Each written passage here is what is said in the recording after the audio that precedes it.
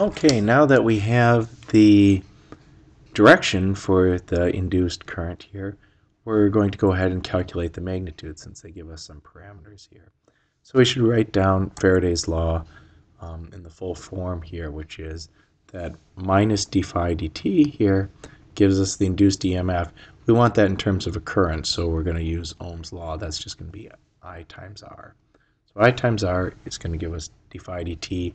The minus sign we're ignoring because uh, we already have the direction taken care of here. So the question is how fast is the flux changing?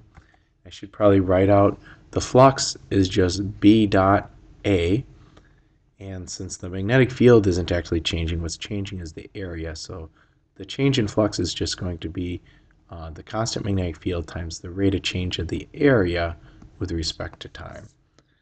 Well, if I label these, and they have been labeled the, the height here, h up and down, and the width here is called L, then the area is L times h, and the height there is what's changing. So it's L times dh dt.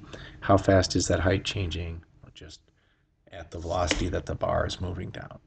So we can go ahead and put numbers in there and get the answer of 6 meters per second, which is correct.